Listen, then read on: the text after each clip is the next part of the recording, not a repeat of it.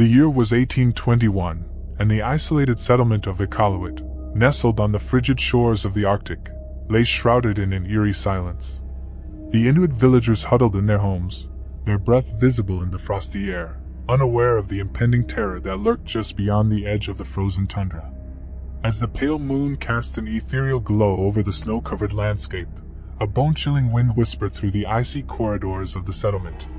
Unbeknownst to the villagers, the ancient legend of the Adlet, a fearsome creature from Inuit mythology, was about to become a horrifying reality. Legend spoke of the Adlet as a monstrous hybrid, born of the forbidden union between an Inuit man and a massive, ferocious dog. It was said that these creatures, marked by their human-like upper bodies and the savage instincts of wolves, prowled the desolate regions of the Arctic, thirsting for the blood of unsuspecting prey. On that fateful night, a blood-red hue tainted the snow as the Adlet emerged from the shadows, their eyes gleaming with an otherworldly malevolence.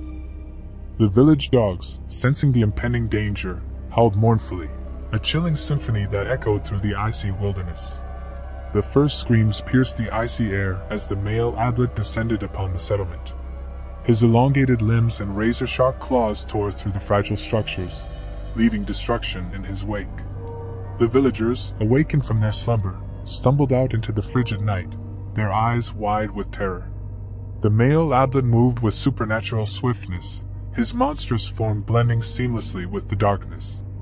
Villagers were snatched away one by one, their anguished cries silenced by the relentless onslaught of the mythical beast. Panic and despair spread like wildfire among the remaining survivors.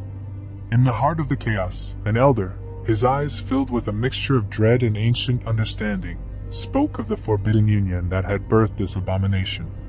The villagers, gripped by fear and desperation, sought refuge in a hastily erected barricade, hoping against hope that the morning light would bring salvation.